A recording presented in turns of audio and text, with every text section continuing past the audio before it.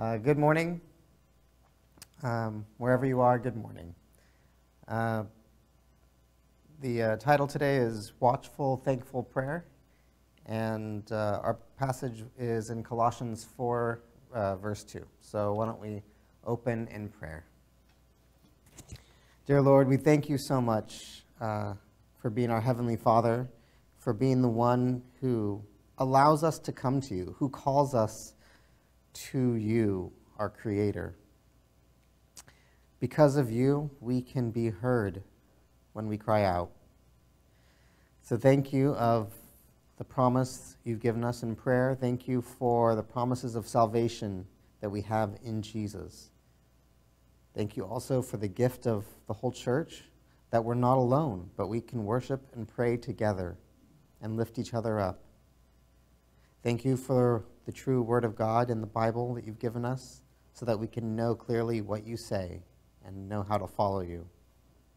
We ask that you please guide us right now in wisdom and in truth so that we can understand the Word and see it bear fruit in our lives. In Jesus' name, amen. Now, when the Apostle Paul wrote his book to the Colossian church, his letter, he wanted to help them navigate several different threats to their spiritual lives. For one, a heresy had sprung up that locked salvation behind obedience to certain Old Testament laws and traditions. And there were also dangerous philosophies that undermined the gospel while sounding very impressive and intimidating. Most dangerous of all, there was a host of sins that were disrupting the unity and peace of the Christian church at Colossae, setting Christians against each other. Now, there was a lot of good in the church at Colossae, too. Paul says at the beginning that he thanks God because of their faith in Jesus has led them to love the rest of the saints. But the church was in danger. And against all these threats, what's the church supposed to do? Well, throughout the whole book, Paul gives a clear answer. We have the person of Jesus Christ through the gospel, and he is enough to overcome everything. But once we know this truth, what are we supposed to do with it? Well, in Colossians 4 2, he tells them, Continue steadfastly in prayer, being watchful in it with thanksgiving.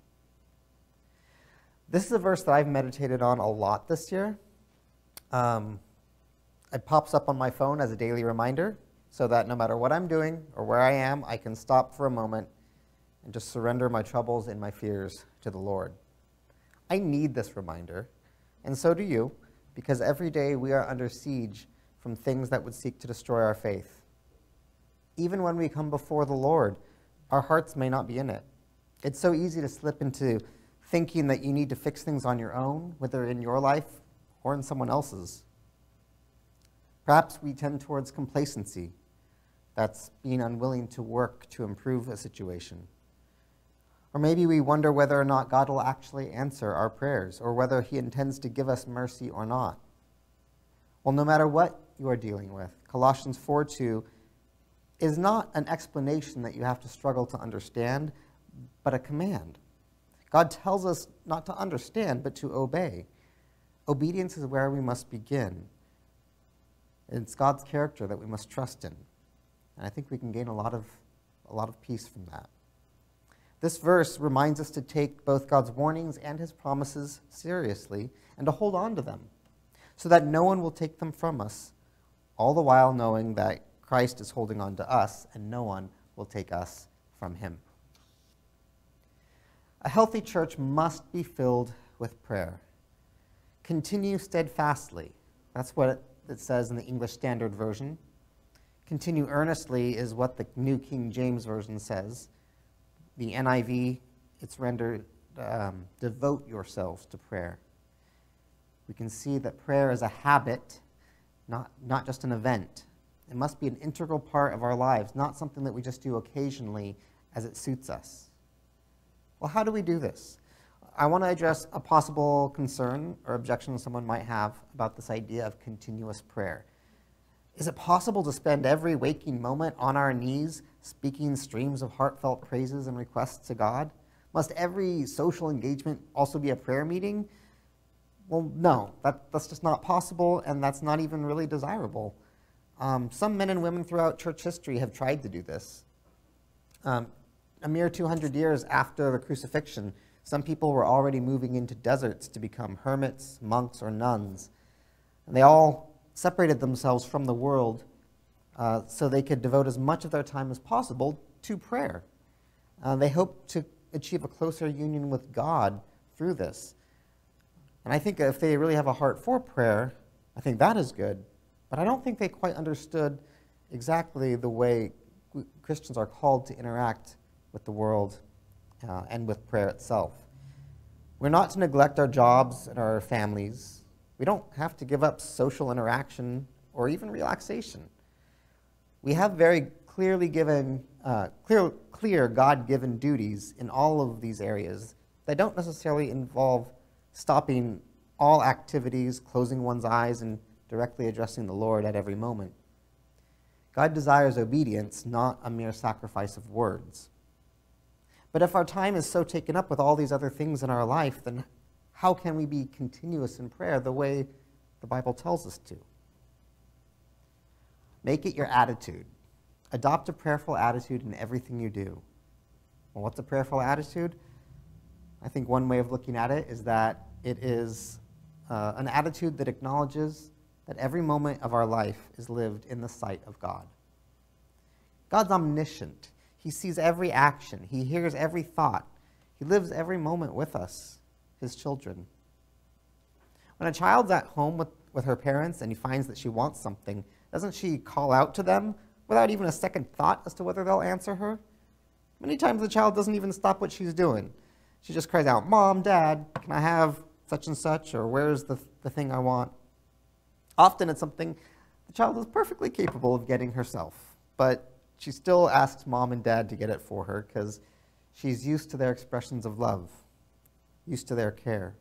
Now, as a child gets older, you want to train her to uh, uh, learn personal responsibility, to be able to do things on her own. It's natural, as children grow, they learn to be able to do the same things that their parents have been doing for them. But the gap between us and our Father in heaven is far greater than the gap between us and our parents. We cannot do all the things that he does. So, why should we make a continuous habit of prayer? Because we need the Lord's mercies all the time. And because he is our Father and because he, he gives us good things out of his love, we can come to him at all times, whether we're busy or not busy.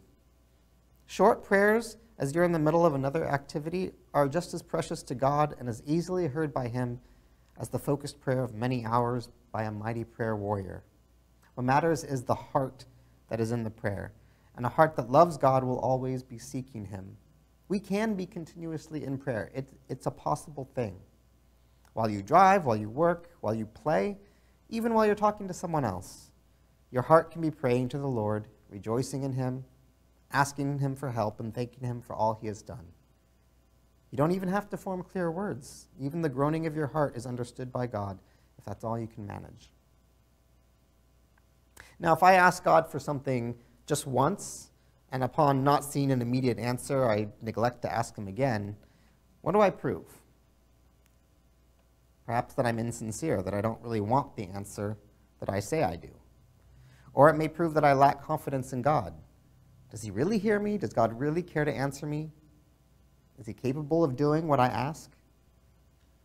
These are terrible things to be thinking. Doubt yourself, but when you find yourself doubting God, I ask you, pray quickly for the Holy Spirit to help you through it. Cry out like the man in Mark 9 24 when he said, I believe, but help my unbelief.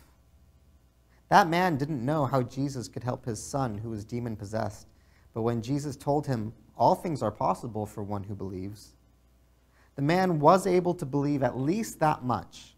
Just the fact that all things are possible through Jesus, even though he didn't know what kinds of things to expect.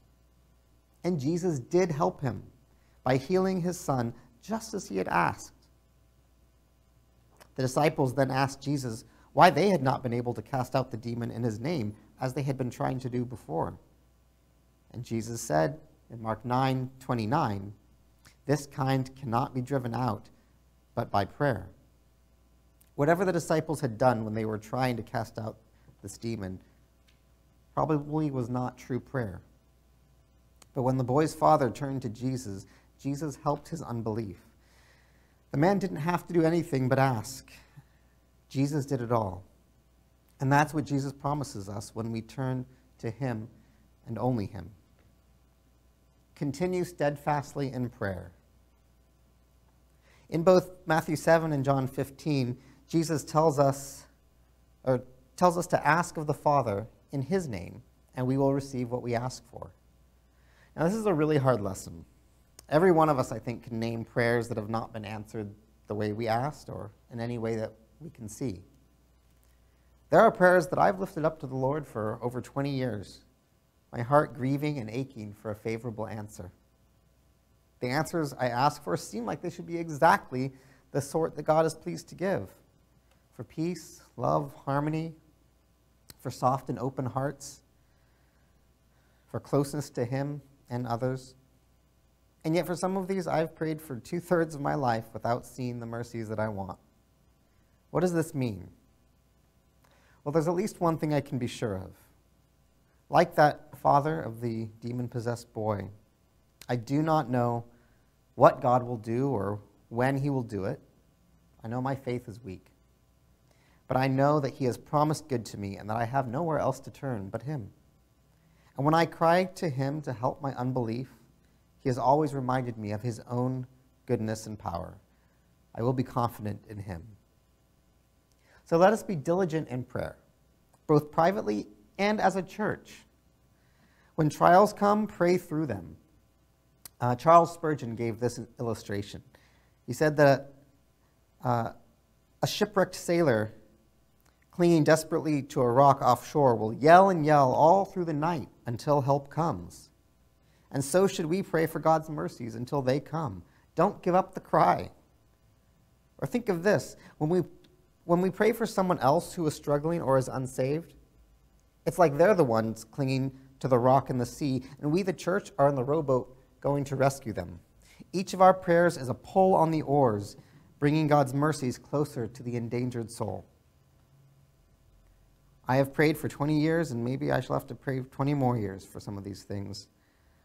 But let us not drop the oars before we have reached our destination. It'll take more effort to pick them up again than it would have, than it would have to simply take another pull. A pattern of prayer, once established, can be kept up with less effort than losing the pattern and trying to start again later. But if you do find yourself in a season without much prayer, as I think will happen to all of us throughout our lives. Turn immediately back to Jesus and ask Him to help you in your weakness. He is our King, and a good king equips his followers well for the battle. We are in a lifelong battle against sin, both in ourselves and in the world outside. We suffer persecution and tragedies, all of which are attacks on our faith in God in some way or another. But Jesus equips us for the fight. Look at the armor of God passage in Ephesians 6. I'm not going to read all of it, but starting in verse 10, the apostle tells us how the gospel arms and armors us for our spiritual war. And then if we go ahead to verse 17, he says, he writes that we will fight the good fight in all circumstances. And he says, praying at all times in the Spirit with prayer and supplication. To that end, keep alert with all perseverance, making supplication for all the saints. Ephesians 6 17. At all times, pray in the Spirit, not just when it's convenient, not just when you think you know how, and not only in public so that others can see and know that you're holy, and not only in private because maybe you're embarrassed that the hostile world will know of your faith, but pray at all times because prayer is how we advance on enemy ground in the war against sin and death. Keep up the fight. Show no mercy to these enemies. Pray for all the saints, your brothers and sisters, mothers and fathers, your neighbors and strangers. Pray for those who are comfortable that they will not be complacent. Pray for those who are suffering that they will be comforted. And just as Ephesians 6:17 tells us, keep alert with all perseverance, making supplication for all the saints. Now, the next part of Colossians 4 2 tells us to be watchful. Continue steadfastly in prayer, being watchful in it with thanksgiving. In Ephesians, Peter, uh, Paul tells us to keep alert with all perseverance. And then here in Colossians, he says to be watchful in prayer. Well, to pray is to be on guard for whatever will come. A sentry is someone who stands watch to guard against the approach of the enemy. And a sentry who watches only briefly and then falls asleep or lets himself get distracted will not hold his post for very long. Uh, either the enemy will surprise and kill him and then continue on to attack his friends, or his master will find out that he's not diligent and will throw him out. The church must have diligent sentries to watch over her with steadfast, alert prayer. In the Old Testament, these sentries were often the prophets. They watched over the people of God in prayer, according themselves to the Holy Spirit, and they did not let up the watch. Um, the Lord says in uh, Isaiah chapter 62, verses 6 and 7, speaking of Jerusalem as uh, representing God's people, he says, On your walls, O Jerusalem, I have set watchmen all the day and all the night. They shall never be silent. You who put the Lord in remembrance, take no rest, and give him no rest until he establishes Jerusalem and makes it a praise in the earth. Jerusalem here represents the church, waiting to be fully established and sanctified in God's presence. And how will the church come into its promised estate, into a kingdom full worthy of praise throughout the earth? It's through the prayer of those who day and night bring praises and requests for the good of the church before the Lord. Give him no rest, it says. Who are we to bang on God's door until he opens it? Well, we are those who obey him uh, he is the one who has set us up for this very purpose. God makes us all watchers over the church, and He commands us to call for His blessings until they come. When we do it, it shows our confidence in Him. Remember, we are also His adopted children in, in Christ. God is glorified when we act according to our new natures as His children who delight in the gifts of their Father and he is pleased to give us good things. To be watchful is also to be aware. So we have a responsibility to pray in an informed, intelligent manner. Christians are not called to be ignorant of anything except the experience of sin. Everything else we must labor to learn that we may better obey the Lord. And that includes prayer. So watch that you don't grow callous or lazy in prayer. Now, myself, I struggle a lot with, with weariness when I pray. Uh, when I close the door of my room and I close my eyes to pray quietly, it's just not long before my mind begins to wander and my limbs grow heavy. I begin to pour out my heart to God, but before I can even finish the first request, sometimes my concentration might have flown away to somewhere completely different. And I have to pull myself back with great effort. Um, but I don't give up. When I catch myself doing this, I pray for the Lord to overcome my weakness. I pray for the Holy Spirit to awake me and keep me watchful. And I follow the prayer with practical efforts. Whatever works for you may be different than works for me. Sometimes I'll get up and do some jumping jacks or get something cold to drink uh, or put on uh, some music that can uh, won't put me to sleep but will still focus me on the Lord. Do the same yourself in whatever way you find uh, will help your prayer when you find it lacking. But pray for God to overcome your weaknesses and then look for the tools that He's already given you. Because I can assure you, the Lord knows what you will pray before you ask for it, He knows your needs. Nor should you be ignorant of your own sins.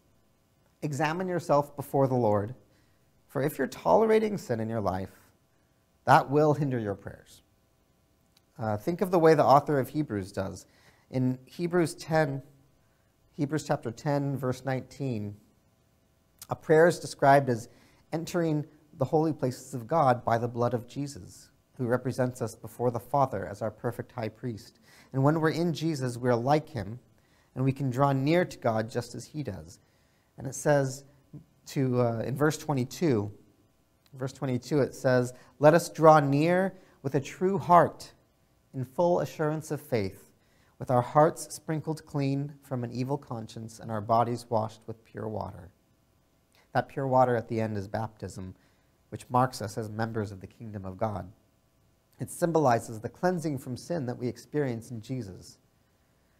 Now, even though God the Father already sees Christ's righteousness as our own, sin still lives in our flesh and has to be constantly fought and killed.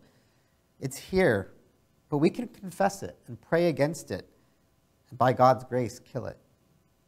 But if you know your sin and you're, you're not doing these things, you're not repenting of it or confessing it and fighting it, then how can you approach God, as Hebrews 10:22 says, with your heart sprinkled clean from an evil conscience? This is not saying that you must be sinless in order to pray. We know that's not true. But don't give your enemy's sin a foothold to destroy your spiritual life. Seek out your sin, knowing it's there. Expose it so it can be killed. Be watchful against your sin. After starting with yourself, I recommend you expand your circle of prayer. Pray for your family, considering all of their needs. Pray for your friends. Get to know your neighbors if you can and pray for them too. Learn about the community where you live so, and, and where your church is so that you can better pray both for the physical needs present as well as for the souls that need to be saved. Then look larger at our whole country and do your best to understand what God desires for the nation and what the nation is most struggling with right now. And look outside your own communities. Look for the overlooked, the strangers and the foreigners, the widows and the orphans, the hungry and the tired, all of those whom the Lord especially calls us to serve in both the Old and the New Testament repeatedly. Wherever possible, establish relationships with people that allow you to know what they really need so you can better pray for them and with them, and even give them practical help should God give you the resources to be the answer to their prayers and pray watchfully for the church. Every church is attacked by sin and the devil, whether they realize it or not. That absolutely includes our little congregation here, all of you. Where two or more are gathered in Jesus' name, there he promises to be.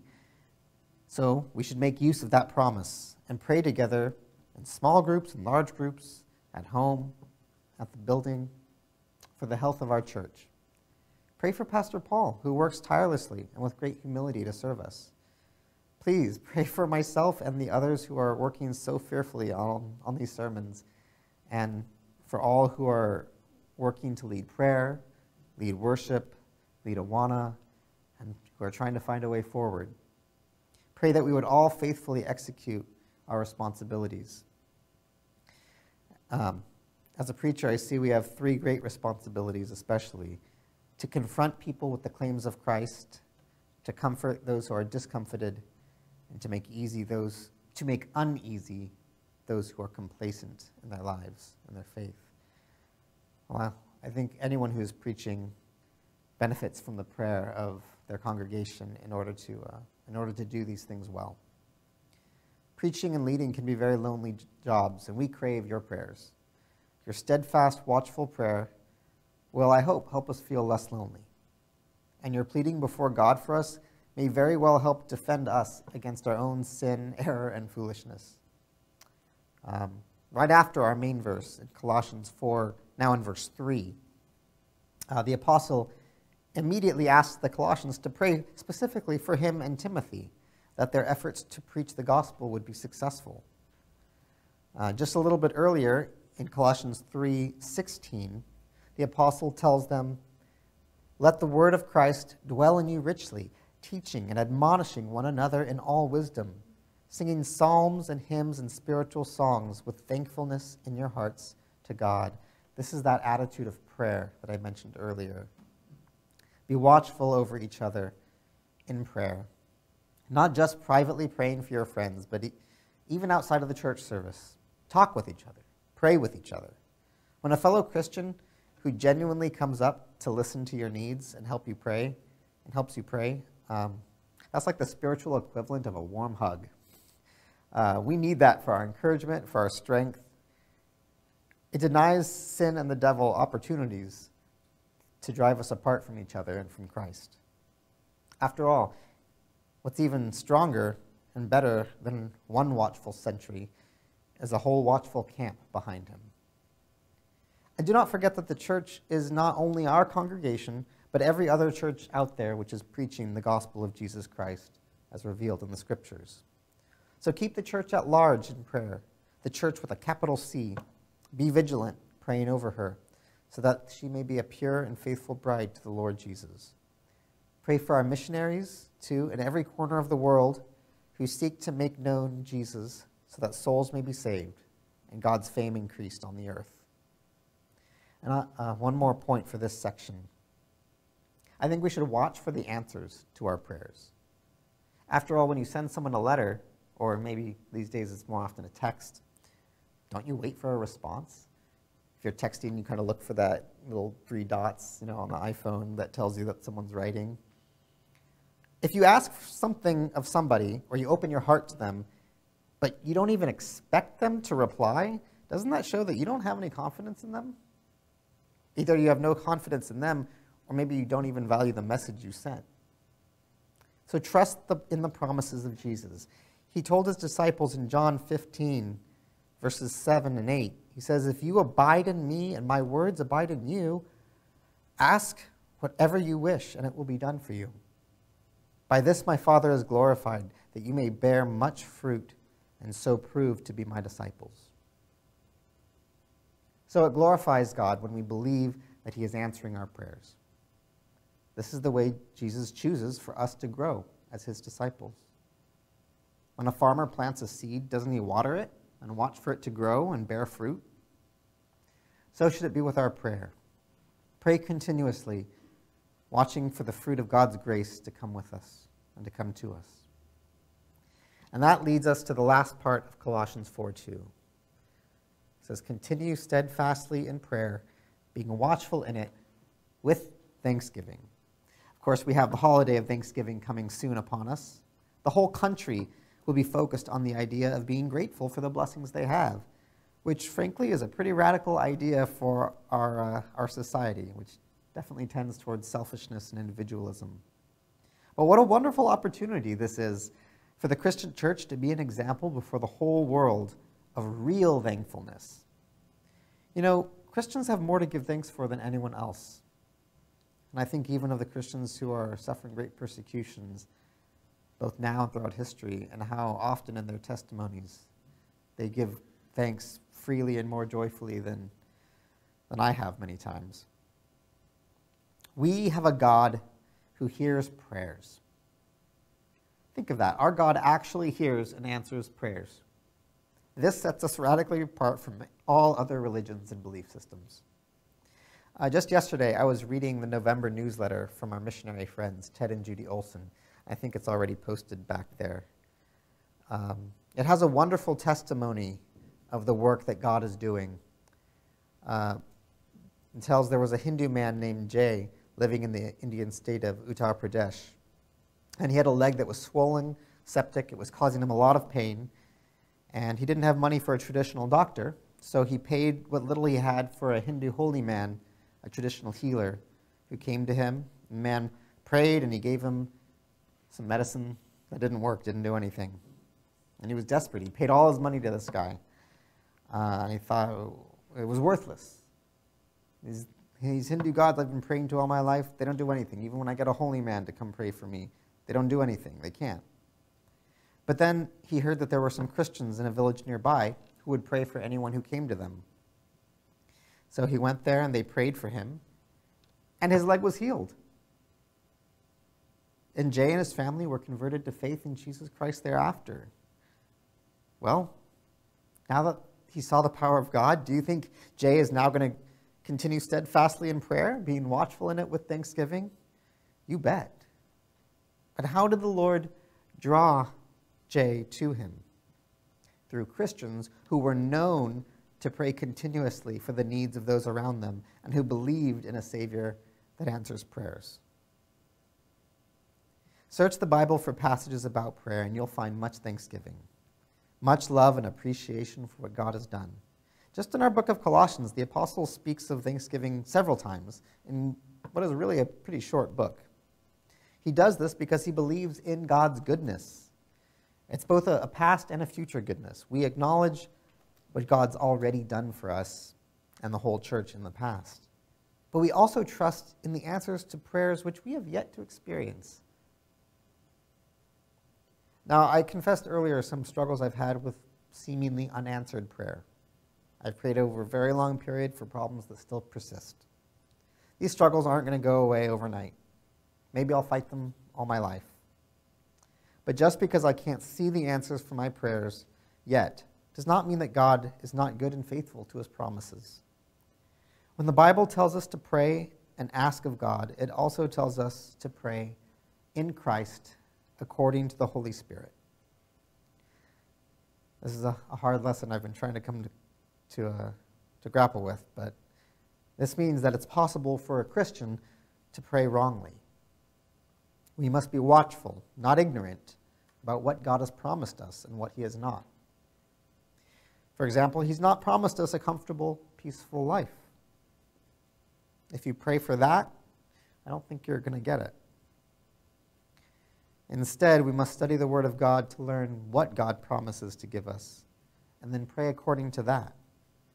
For then we are guaranteed to receive what we pray for.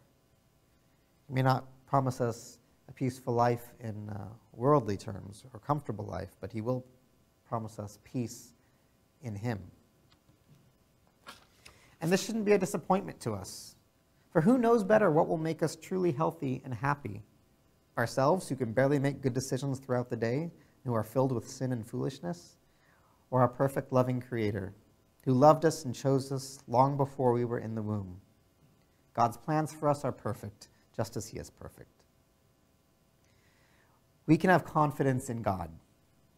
In Isaiah 49, verse 16, God tells us, Behold, I have engraved you on the palms of my hands.